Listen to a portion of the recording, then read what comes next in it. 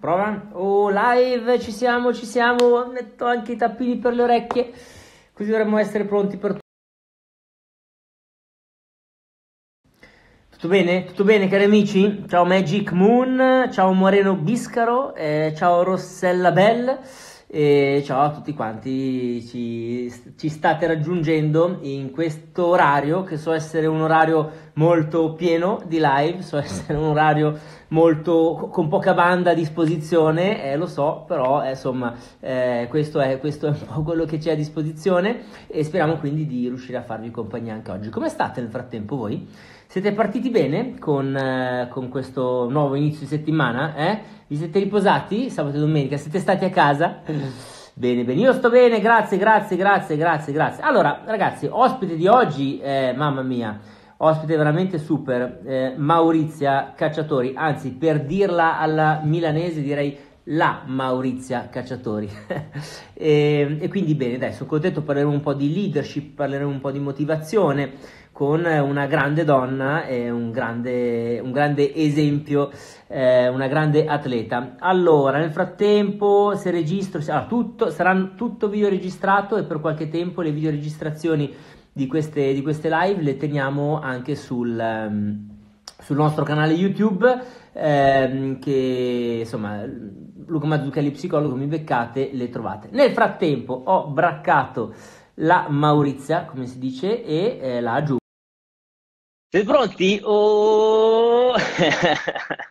vediamo se ce la facciamo, eh? vediamo se la banda ci, ci, aiuta, se regge. Eccola! Ciao Maurizia, grazie! Ciao ragazzi, ciao a tutti! Oh, come stai? Tutto bene? Oggi è un giorno importante, eh? Oggi è un giorno che tutti mi hanno dedicato 100 di questi giorni, il mio compleanno, ma anche no, 100 di questi giorni così. Eh. Però va bene, dai, sono contenta. Gran, tanti auguri Maurizio, tanti auguri e grazie per dedicare un po' del tempo di questa giornata preziosa anche a noi, veramente ti sono grato. È un piacere enorme, davvero. Senti, è stato, è stato, un compleanno diverso. Tu com'è che stai vivendo un po' questi giorni con la quarantena, la pandemia? Poi tu, scusami, allora. hai anche dei, dei, figli in casa, cioè una routine di un certo tipo. Raccontami, sono curioso. Allora, diciamo che io ho attivato, innescato, diciamo, Uh, il chip uh, ritiro in nazionale.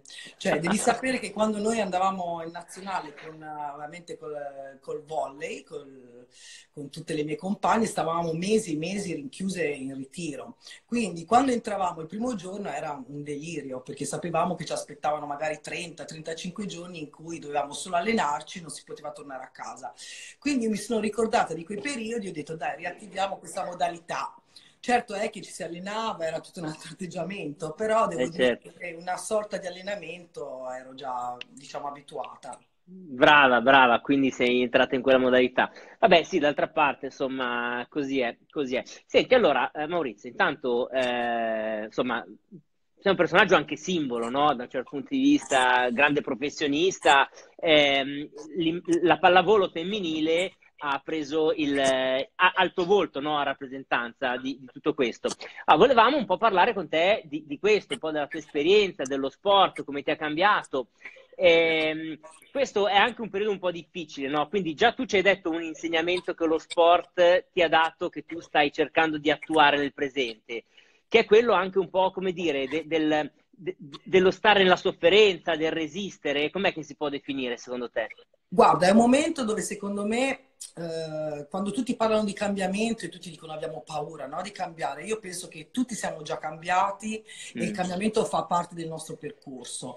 Quindi ora è un cambiamento che non cercava nessuno, eh, detto tra noi, però eh, io credo che mm, se le cose non cambiano dobbiamo cambiare noi e quello che dobbiamo Bello. fare in questo momento è una, resi- una, sorta di resilienza perché non è facile, ha, cioè, nessuno è felice di rimanere in casa, io poi ho due bambini piccoli quindi non è semplice, però allo stesso tempo dobbiamo essere anche dei, dei piccoli leader nel senso supportare, supportare chi sentiamo magari al telefono che è un po' giù di morale, cercare di dare un input in più, cercare di essere costruttivi. Questo secondo me è un'arma vincente perché lo possiamo fare e magari lo stiamo già facendo e non possiamo tirarci indietro, anche perché indossiamo tutti questa maglia che è quella azzurra, ormai siamo tutti giocatori della nazionale e dobbiamo andare avanti. Non Bello. è facile perché io quando Conte ha fatto il primo comunicato che dovevamo rimanere in casa, ho pensato subito ai miei figli e non è certo una realtà che voglio dare ai miei bambini, quella di oggi, però mm. so che è una sorta di prova che, che, devo, fare, che devo insegnare anche a loro, no? E allora loro questa battaglia col coronavirus, ora sono anche un po' rotti, eh? Perché dico, ma siamo sicuri che la vinciamo? Io continuo a dire sì, sì, però ecco, aiutare chi ha a fianco, essere leader di noi stessi e anche per gli altri. Bellissimo, bellissimo. Senti, allora, ehm, motivazione, eh, perché è anche un tema di motivazione, no? Che adesso continuare a stare motivati, avere fiducia, avere speranza nel futuro, che serve tutto questo sacrificio, che l'impegno paga. Eh, ecco, tu che, rapp- hai, che, che, rapporto hai avuto con la motivazione? È, è, cambiato nel corso degli anni? Sei sempre stata una con una grande motivazione? Oppure prima hai preso qualche bastonata? sì. Allora, io sono uscita di casa molto presto, avevo poco più di 16 anni e quindi sono entrata in un team che era un team già fatto di, di giocatrici già professioniste che avevano vinto di, di, tutto di più. E quindi cosa succede? Che ero una ragazzina, ero molto già burrasca e ho imparato velocemente a parlare poco, perché io chiacchieravo, discutevo, parlavo di qui, parlavo di là, quindi a capire veramente com'era l'ambiente, lavorare e cercare di portare a casa il risultato. Il risultato lo porti a casa ogni giorno, no? passo dopo passo. Non è stato certo. semplice perché io eh, volevo anche fare altro, mi sarebbe piaciuto, eh, non so andare all'università, fare le cose che facevano le mie, le mie, compagne, i miei compagni di scuola, del liceo, e invece a me era ditato, non c'erano gite, non c'era nulla, però avevo questa passione che è importante, è importante averlo, chi non ha passione è come se il cuore non gli battesse, e quindi Bello. io comunque nascondevo tutto perché mi piaceva stare con le mie compagne, con, con le giocatrici di squadra, con l'allenatore, con lo staff, quindi questa resilienza c'è stata, però allo stesso tempo... Ehm, è stata molto motivata dal fatto che mi piaceva quello che facevo. Eh, questo Anche sicuramente. tremenda, io sono sempre stata tremenda. Eh. Ma ad esempio, ma cosa vuol dire Giamburrasca? Facci capire. Giamburrasca per dire, io amavo tantissimo le Big Bubble e ancora adesso, diciamo. E quindi io facevo gli allenamenti con le Big Bubble, che non è proprio un bel biglietto da visita. E io avevo questo allenatore grandissimo che è Bernardo Rocia, che è stato allenatore della nazionale brasiliana, sia maschile che femminile, lui era tutto d'un pezzo. E giustamente vedeva questa ragazzina toscana che, insomma, ero anche brava, però insomma con la Big Bubble che la faceva scoppiare ogni tre secondi, non, era, non ero proprio correttissima. Però mi, voleva, mi hanno sempre voluto tutti molto bene perché sono sempre stata molto genuina. Mm. Senti, quindi diciamo, tu dici, nei, nei, momenti in cui c'era un calo fisiologico, magari della motivazione, tu ti riconnettevi alla tua passione e riuscivi a trovare le energie, giusto? Esatto, esattamente. E, ma non c'è mai stato un momento in cui anche, insomma, adesso va bene la passione, però sai, qu- quante volte ti allenavi, quante ore, cioè immagino degli Facciamo allenamenti... prima contare le volte che non fatto, esatto. allenava tutti i giorni, poi c'era la domenica la partita, però alt, se la partita non andava bene era possibile che il giorno dopo si rifacesse allenamento. Ho fatto allenamento alle 5 del mattino per punizione, abbiamo fatto allenamento dopo mezzanotte per punizione, quindi ho visto tantissime situazioni. E, ehm, però devo dire che non, non, mi sono mai tirata indietro e ho trovato anche dei grandi punti di riferimento in tante mie compagne, per ritornare al discorso che il leader motiva altri leader. Esatto, questo è importante. Quindi diciamo, allora, sto, eh, sto, selezionando gli ingredienti per una motivazione top. Allora, sicuramente la passione, poi un altro tu mi dici il network relazionale che è capace di energizzarti, ogni Bravissimo. tanto li energizzi tu e ogni tanto ti restituisce questa cosa. Esatto, esatto. Questa è una, una parola chiave, diciamo eh, il fatto di vedere quando magari avevo delle compagne che erano perché tante volte mi è successo di dire basta, non gioco più a pallavolo e voglio una vita normale, no? E invece mi sono sempre resa conto che è nei momenti di difficoltà dove si vedono i veri fuori classe, no? È in Bello. questo momento che stiamo vivendo che si vede chi ha la, la, la stoffa de, del campione, non perché dobbiamo essere tutti dei campioni, ma perché comunque dobbiamo dare valore e qualità ai nostri giorni e alla nostra vita. E allora dobbiamo pensare che quando sarà finito tutto, noi ci gireremo indietro e diremo cazzarola, noi questi giorni li abbiamo affrontati a testa alta e nessuno si è tirato indietro. Questo secondo me è importante. E questo era un, un tuo pensiero che ora stai riattualizzando, ma che anche quando eri in nazionale ti dava forza. Diciamo. Certo, perché io tutte le cose che ho fatto, giuste o sbagliate che siano, eh, comunque le ho fatte sempre di testa mia e sapendo che i momenti non potevano essere sempre meravigliosi. Io dico sempre che il vero vincente è colui che trova un giusto equilibrio tra dei momenti fantastici eh, a momenti veramente terrificanti. No? Chi trova il giusto equilibrio, quindi chi non si esalta troppo quando le cose vanno alla grande e chi non si butta giù troppo quando le cose vanno giù, è un vero vincente. Bello. Allora, senti, quindi abbiamo detto eh, il network delle persone che ti danno forza, poi abbiamo visto la passione, eh, poi adesso anche quest'ultima cosa che diciamo su pensare al futuro, pensare al futuro, come sarà quando mi guarderò indietro, bello. E volevo chiederti anche se, se all'interno di questa ricetta, per restare un po' su, diciamo motivati, ehm, tu hai mai adottato delle buone abitudini? Nel senso che quando parlavo con Pietro Trabucchi, che è uno psicologo dello sport molto importante, lui ha approfondito tanto il concetto di resilienza, lui mi diceva, vedi, io vedo che i grandi sportivi eh, hanno un certo punto della loro carriera, della loro quotidianità, insomma, in cui non hanno la voglia di alzarsi dal letto per andare ad allenarsi. E allora lì quello che vince solitamente è la buona abitudine, no? la routine, di comunque farlo in automatico, col pilota automatico. Noi avevamo sempre il pilota automatico inserito. Eh, soprattutto quando eravamo stanche. Era un po' una modalità di allenamento. Abbiamo avuto tanti allenamenti che ci dicevano proprio quello che ci dici tu.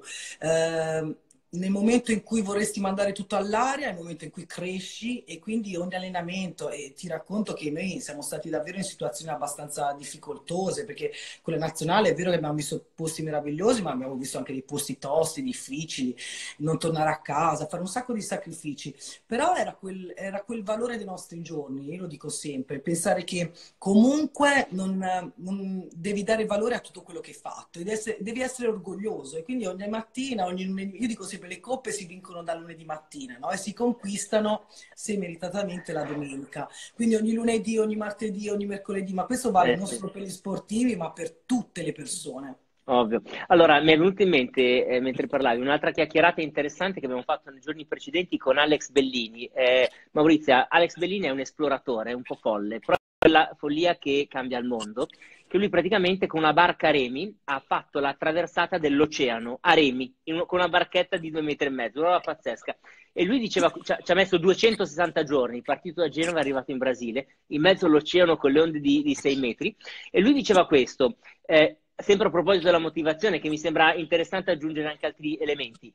Eh, quando ti viene vol- voglia di mollare, pensa perché hai iniziato, che un po' si ricollega al tema della passione che tu dicevi all'inizio. È giustissimo, è giustissimo. A parte il fatto che non andrei mai con lui a fare nessuno, a parte sono fifonissima e terribile, però detto questo, cavolo, è giustissimo perché io ricordo quando ho lasciato casa, che ho fatto questa valigia e sono andata a vivere in una città che era lontana da casa mia e ricordo quel viaggio, quel viaggio fatto di mille, di mille pensieri, di mille e di mille sacrifici perché non era semplice, però quei giorni lì me li sono sempre ricordati e quindi non ho mai voluto buttare via quello che è stato importante, partendo proprio da quando ho iniziato, questo è importante. Eh sì, e poi un altro spunto che dava Alex Bellini secondo me che si ricollega anche a quello che tu hai detto del, del fatto che eh, tu vinci la partita da, partendo dall'allenamento sette giorni prima, lui diceva, quando sei lì in mezzo all'oceano, sei disperato e non sai più da che parte ripartire, parti dai remi l'unica cosa che tu puoi controllare, ci sono delle cose che non puoi controllare, altre le puoi controllare. Cos'è che puoi controllare?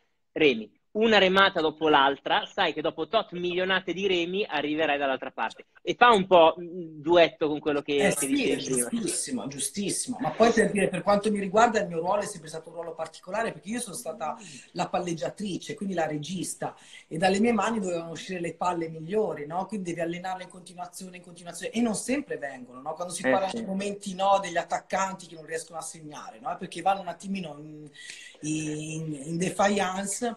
E allora si ritorna a quello che ci è chiaro e solido, quindi ritorni a allenarti davanti al muro, fare quei 300-400 palleggi e non molli mai, sempre pensando che quella deve essere la palla che soluziona la partita. Senti, eh, il tema delle aspettative, che poi su di te, no, poi su, su, sui personaggi simbolo, le aspettative solitamente sono anche molto più ampie del, degli altri, delle seconde linee che magari sono ugualmente preziose, ugualmente importanti, però sono un po' meno sotto il fuoco mediatico, eccetera. Tu com'è che lo gestivi? La paura, so, del giudizio, del, del, della sconfitta? Um...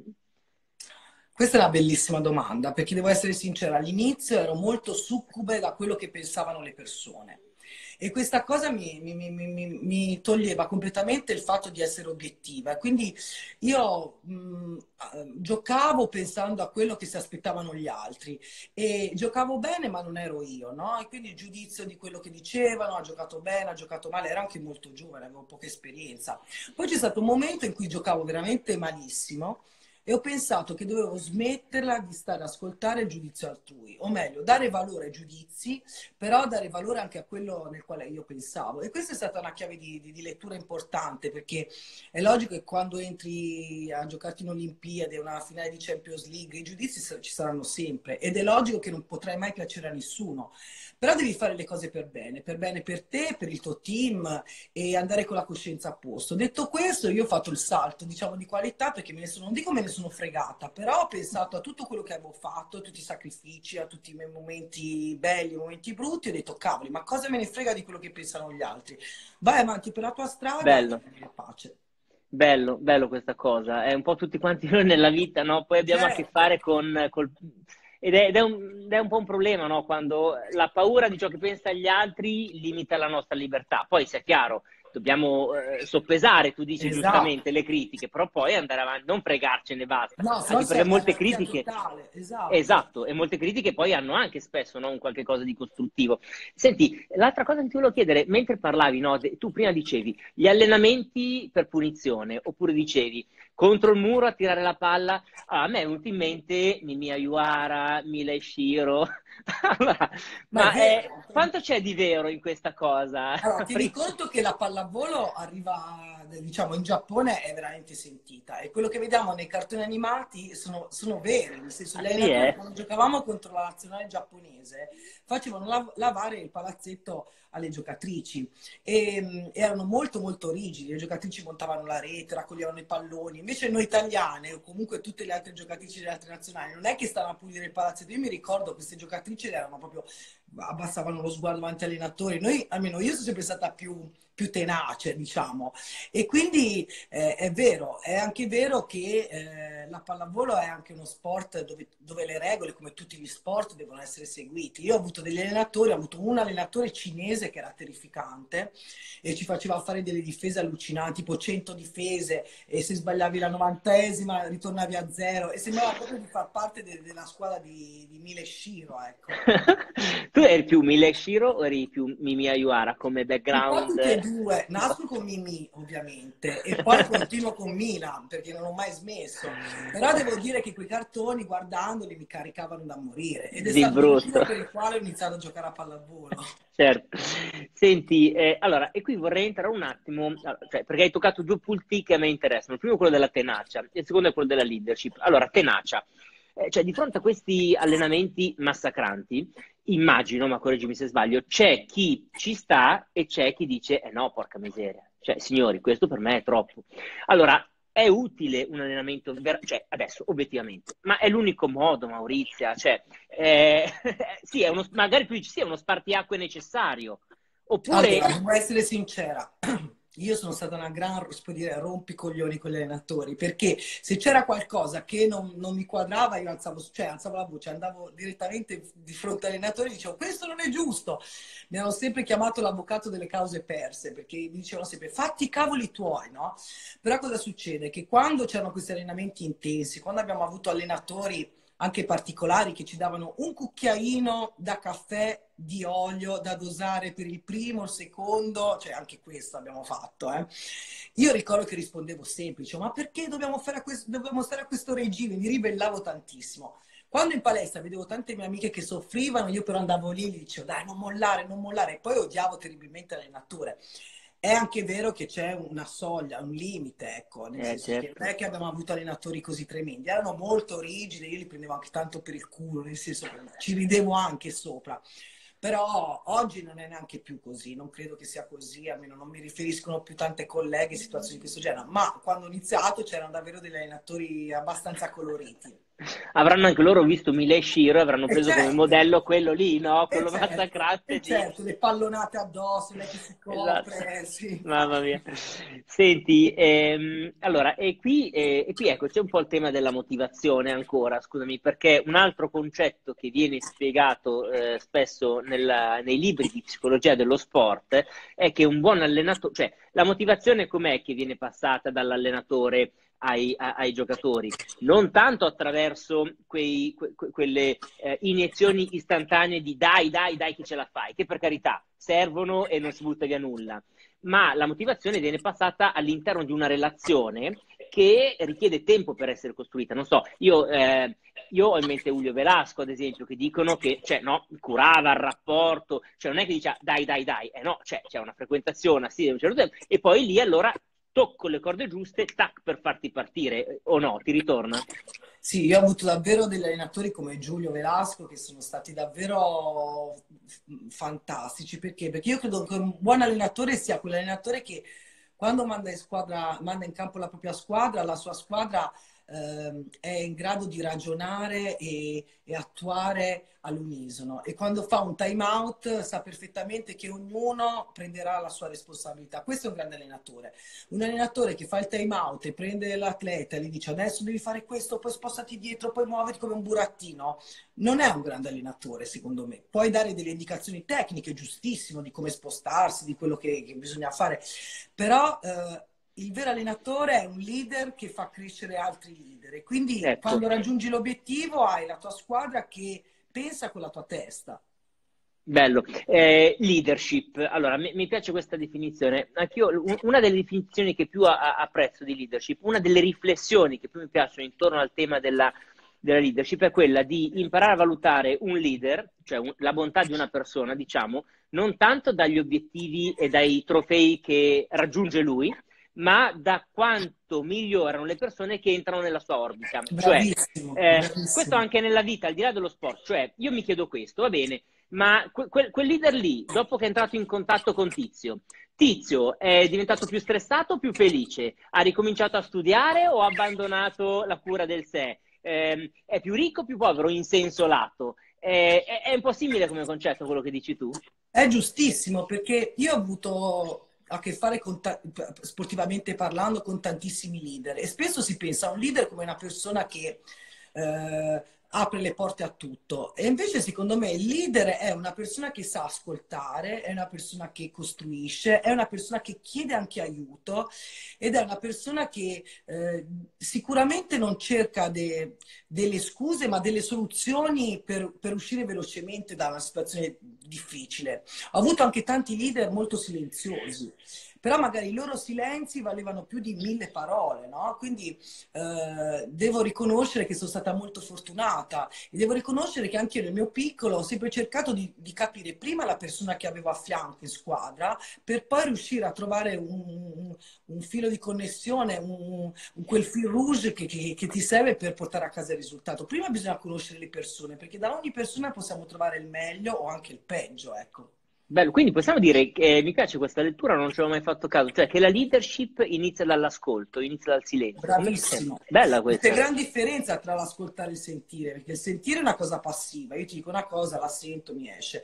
L'ascoltare invece è che te presti proprio attenzione, quindi il leader ha questa facoltà di sapersi far ascoltare e non sentire. Quando vedi quei, quegli allenatori o quei giocatori che urlano, vai qui, là, e vedi gli altri che lo guardano, ma dove vai, capito? Quello non è un leader, capito? Magari trovi una persona molto silenziosa che viene da lei e ti dice guarda spostati dall'altra parte, allora te gli presti molto più attenzione.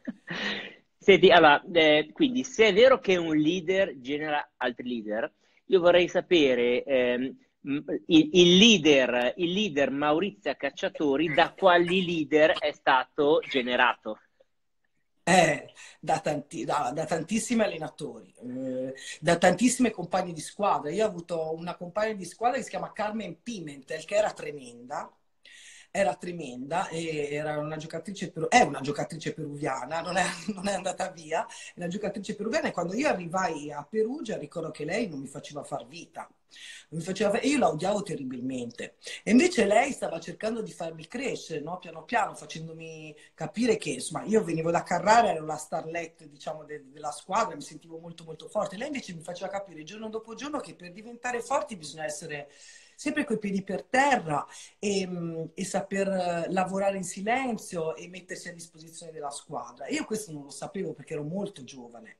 Io avevo visto il trofeo di Topolino a Montalcino e io pensavo di essere la giocatrice più, più brava de, de, de, del pianeta, invece era una, una, una bimbetta di, di 15-16 anni che doveva davvero fare tanta strada, quindi tanta umiltà e, e, tanto, e tanto, tanto lavoro. Quindi ho avuto davvero grandi leader, ho avuto tanti allenatori mm. incredibili che hanno saputo anche ascoltarmi, nonostante io sia molto colorita come persona perché sono, mi diverto e cerco sempre di, di, scherzare, a volte anche troppo.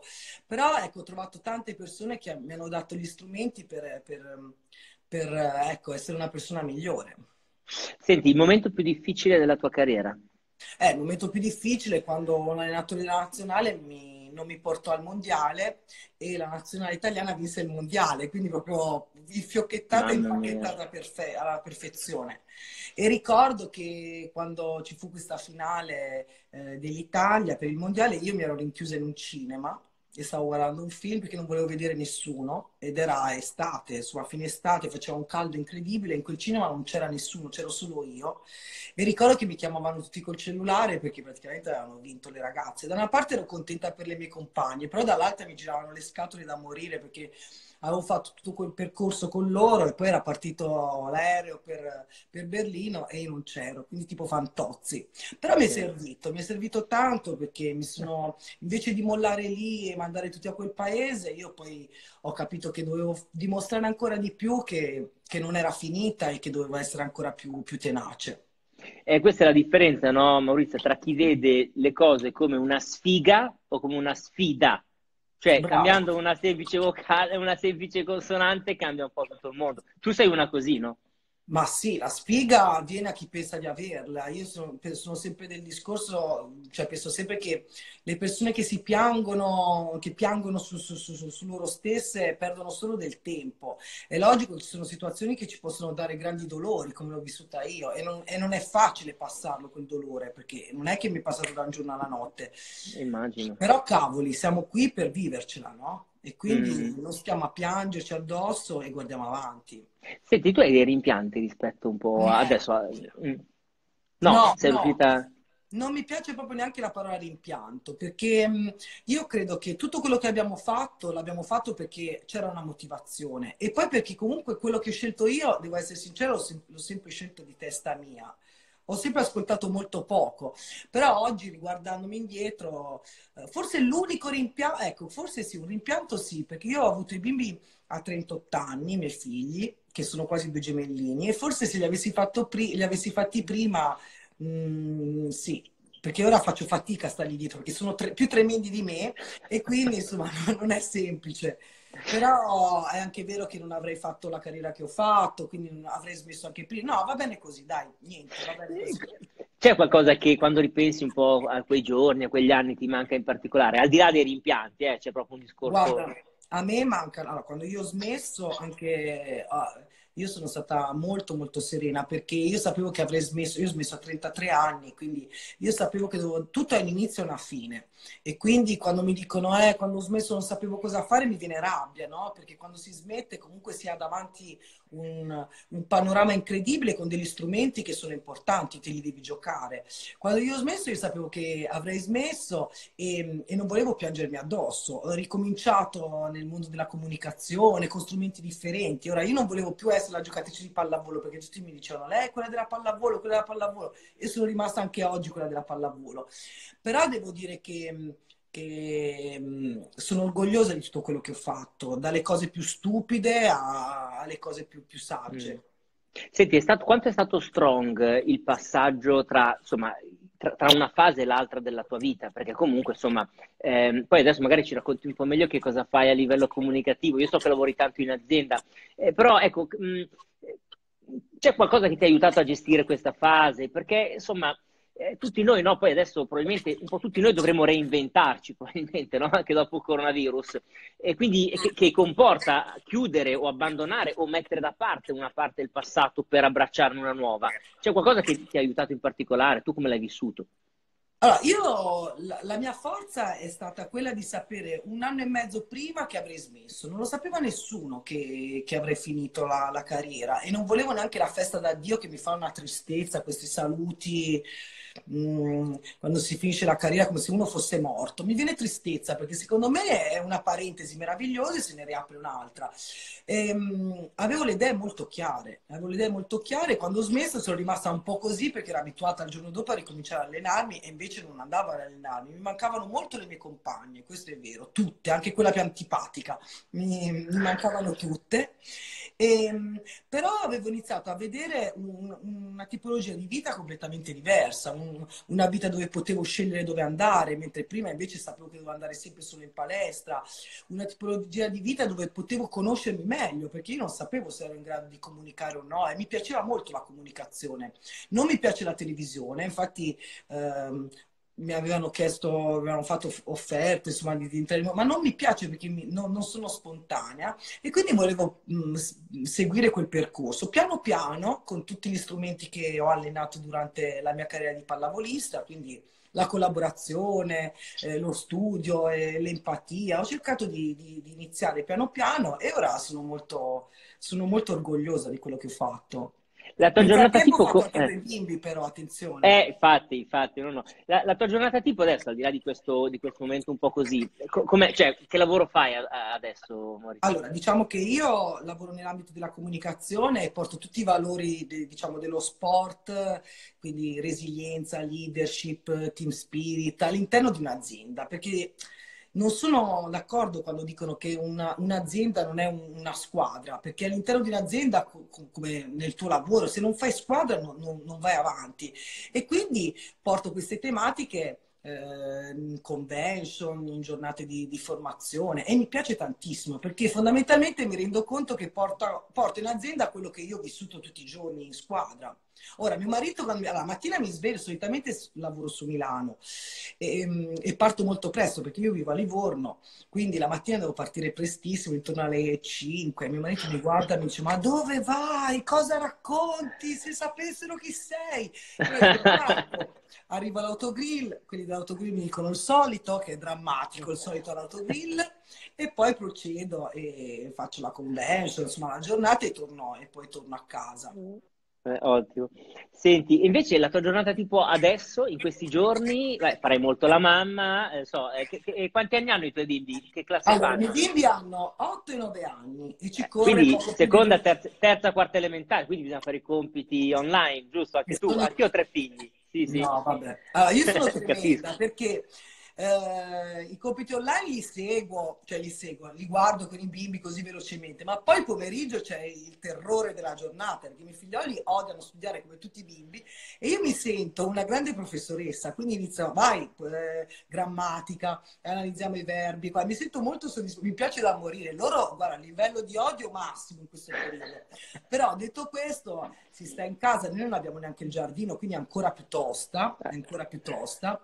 Però loro si divertono, per loro è un momento particolare perché hanno tutti i genitori, mio, mio, con mio marito in casa, siamo sempre in casa con loro. Ora, prima di fare la diretta ho fatto uh, questo gioco che si chiama Ce l'hai, non so se l'hai mai giocato, che devi toccare, ero tutta sudata.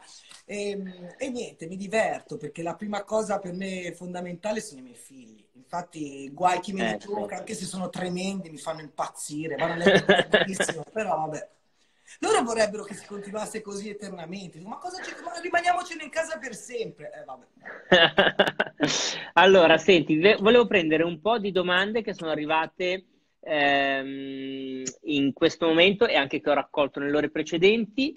Allora, allora una domanda è questa. Eh, ti chiedono eh, se hai mai seguito nel corso della tua carriera un percorso assistito di mental training e in caso eh, come, come ti sei trovata e come è funzionato? Allora, devo essere sincera, sì, e eh, con alcune persone da Dio, con altri da uccisione proprio totale. tipo avevo un mental coach che aveva comprato un pupazzone a Luna Park e lo metteva in palestra. Quindi Tutte le volte che si sbagliava qualcosa bisogna andare dal pupazzone a dare un pugno. Ora io, considerando come sono, vedere quel pupazzone lì mi dava, cioè lo odiavo. In più questo pupazzone faceva anche la trasferta con noi e stava nel primo posto dell'autobus, quando si partiva col pullman, lui stava al primo posto sto pupazzone e stava anche in panchina. Io lo odiavo terribilmente. E mi ricordo che una volta avevamo perso, lui, questo mental coach diceva, tutte le volte che sbagliate andate a dare un pugno al, al pupazzone. E io dicevo, ma guarda il pugno te lo do a te, perché queste sono cazzo, cioè, non so se si può dire, però, quindi ho avuto dei mental coach fantastici, veramente, ma anche dei grandi cretini, quindi per favore chi vuole fare questa, questa cosa, per cortesia, che insomma sia sul professionisti seri e preparati Bravo, perché, perché purtroppo poi... in giro ci sono davvero tanti ciarlatani eh, sono d'accordo. Allora, esatto. poi eh, volevo prendere questa. Allora, eh, qualche consiglio qui chiedono leadership al femminile in ambienti anche maschili. Cioè, il tema della leadership al femminile, in effetti, ehm, è un tema che deve essere qui per restare. Io ho, ho la, la mia idea è che la leadership del futuro sarà femminile, Maurizia, perché ehm, ci sarà sempre più bisogno di ehm, ascolto, come dicevi tu, di eh, accogliere, di empatia, di emozioni e solitamente, non che i maschi non ce le abbiano eh, di default, però solitamente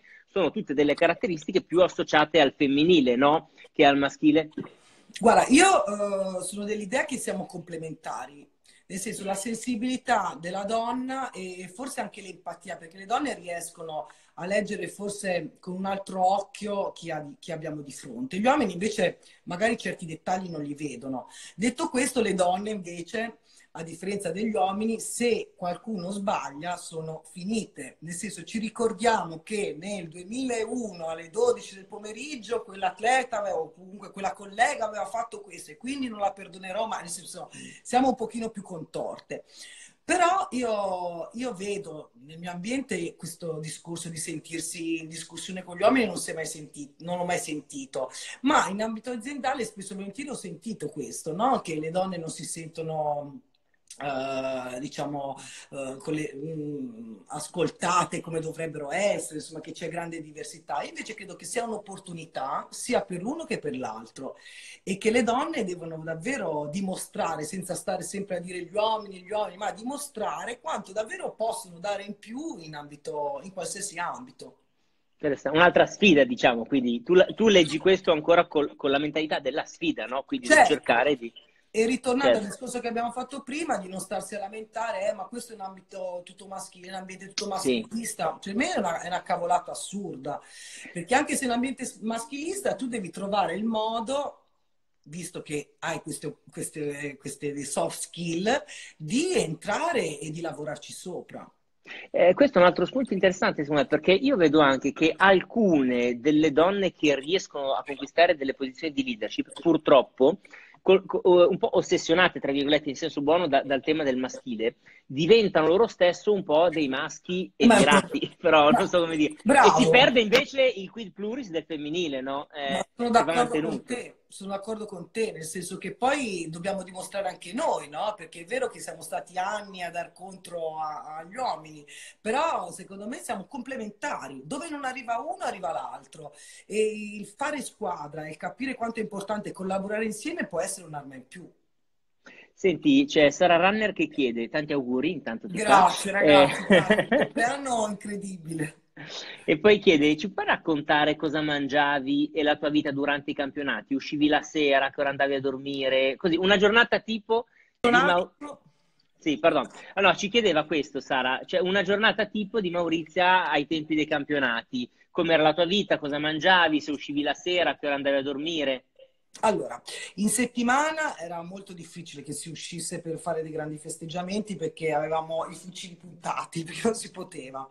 Detto questo, la mattina avevamo allenamento eh, dalle 9 intorno a mezzogiorno, poi si tornava tutti a casa, io pranzavo sempre a casa e poi dalle 4 eh, fino alle 7 e mezza. Io parlo di quando giocavo a Bergamo, che sono stati gli anni diciamo più più importanti, diciamo, della mia carriera, dove ho vinto praticamente tutto. E tutta la settimana, bene o male, magari un cinema la sera, qualcosa, ma niente di che. Io stavo molto, molto a casa. Invece, dopo la partita, dove solitamente si vinceva, perché a Bergamo avevamo vinto tanto, si partiva e si andava a Milano. Quindi serate incredibili di, dai, di, di divertimento, perché siamo comunque umane certo, e quindi si andava certo. a festeggiare anche se ci riconoscevano tutti perché eravamo degli stoccafissi dentro queste discoteche però ecco insomma una vita come tutte le ragazze un po', un po più sacrificata perché insomma gli allenamenti erano impegnativi Senti, un'altra domanda eh, interessante questa. Allora, quando l'impegno cala, come capire se è una richiesta del nostro corpo e quanto sforzarsi? Cioè, eh, magari cala perché, de- perché, il mio corpo ha bisogno di riposare e io lo devo assecondare non so, tu hai mai fatto delle riflessioni su questo? È che conosci talmente tanto bene il tuo corpo che sai eh. perfettamente quando è il momento in cui ti devi fermare, oppure anche quando sei particolarmente stanca mentalmente, perché io ricordo momenti in cui ero talmente tanto sotto pressione che sentivo ancora più stanchezza e quindi cercavo di staccare. Ora io ti racconto anche questa che mm, un, un, giorno avevamo due giorni di riposo, giusto per farti capire com'ero, e l'allenatore ci disse mi raccomando staccate. E io ho staccato proprio di brutto perché presi un treno e andai a Parigi. Ovviamente per lui non era staccare in quel modo lì. Però io sono andata a Parigi, sono partita la notte, sono arrivata il giorno dopo per starci quanto? Pochissime ore, pochi, pochissime ore, però per me staccare era quello, no? E, ehm, e quindi quando sono tornata ero, ero, distru, ero, distrutta fisicamente con quel viaggio, poi se, face, cioè, se ci penso adesso non lo farei neanche mai, però insomma quei tempi ero veramente fuori di testa e ricordo che insomma sono riuscita a staccare la testa e ripartire alla grande. Ora lo sapranno tutti, però insomma, vabbè, detto questo l'ho fatto. Era abbastanza ribelle in queste cose qua. Senti, ci chiedono, Andrea Steff chiede, perché non ci sono allenatrici di pallavolo ad alti livelli? Tu eh, non hai mai pensato era... di fare tu l'allenatrice, magari? No, Chiedo, eh. No, eh, come mai? Vabbè, Già, eh... allora, Già faccio la domatrice in casa con i bimbi, no, poi lavoro tanto, non potrei fare allenatrice, anche perché realmente toglierei tantissimo ai miei, figli. Ai miei figli. E poi eh. ho fatto tanti anni in palestra, non, non, non me la sento proprio di ritornare. E, ehm, e detto questo, cos'è che chiedevano degli allenatori? E dunque, perché non ci sono allenatrici di pallavolo ad alti livelli? Questo è, una cosa che dovrebbe essere una motivazione in più. In questo periodo in cui siamo tutti a casa, tutte le persone che hanno voglia, le donne che hanno voglia di, di fare allenatrici, di non pensare che non ci sono donne. Perché è vero, al momento non ci sono, ma se non dimostriamo che siamo delle grandi allenatrici, nessuno potrà... Cioè, nel senso, io credo che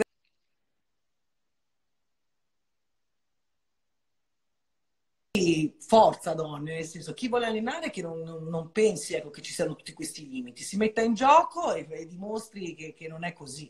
Purtroppo i numeri dicono che, che gli uomini hanno più panchine.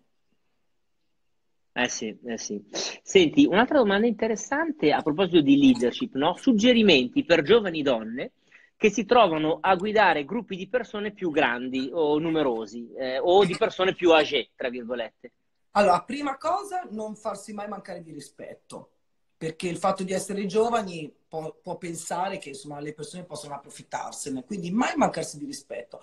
Secondo, essere il più empatici possibile. Secondo me l'empatia rientra in tutti gli ambiti, quindi far capi- capire velocemente chi abbiamo di fronte e, e essere dei punti di riferimento. Non, io non credo che l'età conti, però eh, perché ho visto sottolineato il discorso di essere giovane, no? Una ragazza giovane ha tutte le carte in regola, forse ha meno esperienza, ma questo non toglie che non sia preparata e non possa, e possa essere davvero una fuoriclasse, ecco.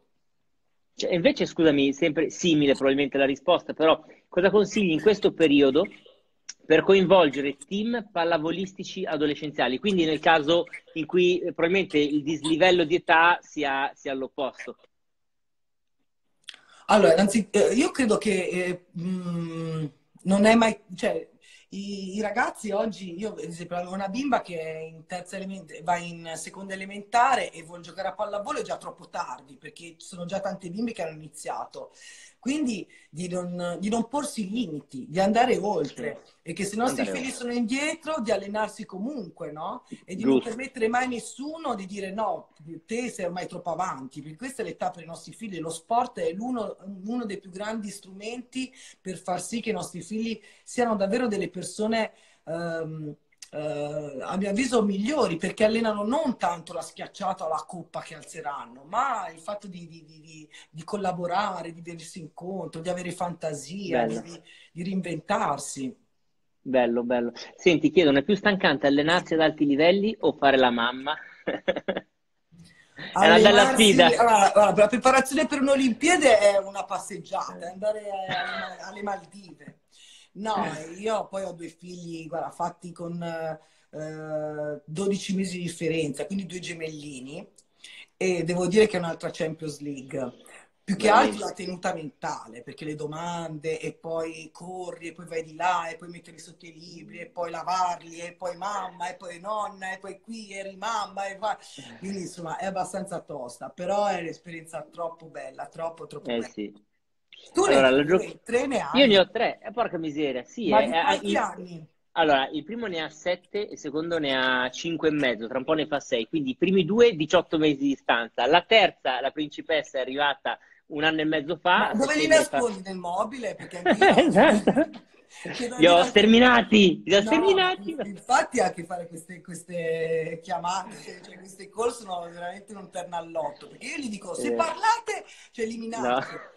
Alcune volte strisciano sotto e io si vede un braccio che però guarda, nel senso io sono sempre stata una persona vera, non mi interessa nulla, sono tanto contenta, però è tosta ragazzi, è tosta ma è bello così.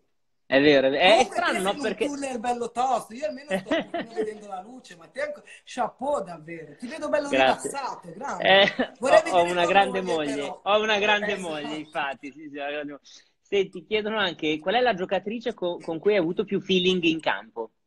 Ah, giocatrice con più feeling uh, è stata mm, ma tantissime, Vania Mello, uh, è stata Elisa Togut, avevo poi le mie preferite e di solito erano quelle più ribelli in squadra e, um, e poi no, ma un po' tutte, difficilmente sono state giocatrici che non sopportavo, anche perché quando quelle che non sopportavo si vedeva benissimo perché proprio ero tremenda.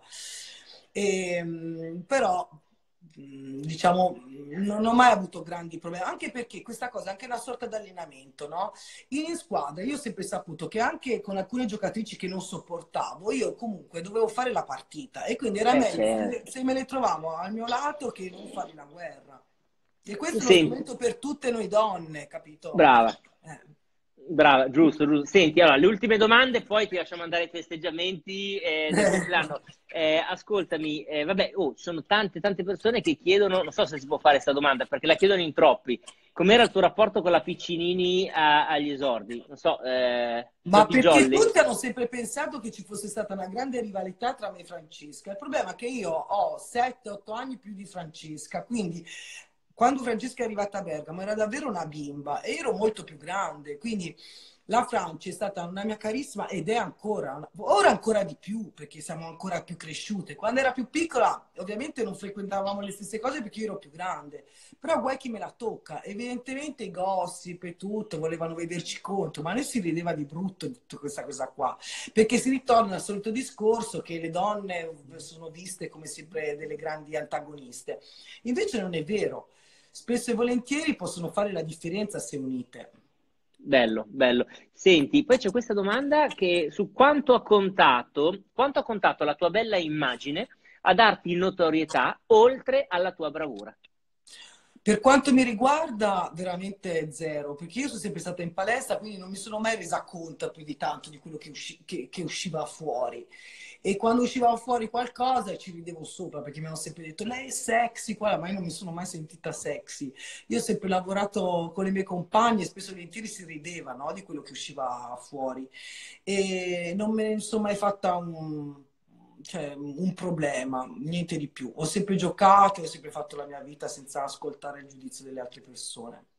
Ottimo, allora prima dell'ultima domanda, intanto allora, vi ringrazio per tutti voi che ci avete seguito, vi ricordo che la registrazione di questa live eh, tra qualche giorno sarà disponibile sul mio canale YouTube come la Comunque registrazione di tutte le altre live. non ci credono de- de- del discorso della pizza, eh, ma non è vero ragazzi. Ma come possiamo convincerle? Eh, cioè... allora, eh, la prossima volta chiamate Francesca e vediamo cosa vi dice, cioè veramente non, non è così, perché bisogna sempre pensare che, che ci sia del, del, del, della rivalità.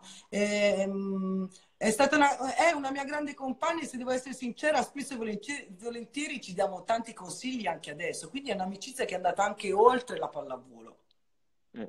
Be- bello, bello, no? Insomma, una, una, una, una, bella storia. Allora, quindi, scusate, prima dell'ultimissima domanda, ehm, www.houseofminds.it, casadellementi.it, trovate l'elenco delle prossime live. Mercoledì abbiamo Riccardo Pozzoli, settimana prossima avremo Filippo Ongaro e tanti altri che ancora stiamo organizzando e potete vedere anche le registrazioni delle precedenti live. Mm, allora, eh, Maurizia, se tu potessi... Eh, Ritorno al futuro, tu l'hai mai visto il film Ritorno al futuro? No, li odio quei film guarda tutti mio marito quei film Te li allora, guardi? Io eh, ho, ho, avuto un retroterra culturale che ha avuto anche quello. Allora, praticamente c'è un'automobile che si chiama la DeLorean che ti permette di tornare indietro nel tempo. Allora, se tu adesso potessi prendere la DeLorean e eh, tornare indietro e parlare con la Maurizia Cacciatori diciottenne, cosa le diresti? Hai due o tre cose che le puoi dire al massimo. Da, da, da dove inizieresti? Allora, la prima cosa gli direi, continua così che va bene. Cerca di stare un pochino più tranquilla perché a febbraio del 2020 arriverà il coronavirus, quindi ti dovrei dare una regolata. No, detto questo, no, io gli direi, non potrei dirgli niente perché non mi ascolterebbe, capito? Quindi sarebbe veramente difficile, sono troppo convinta. E... Però sarebbe una bella esperienza, dai. Va bene, dai.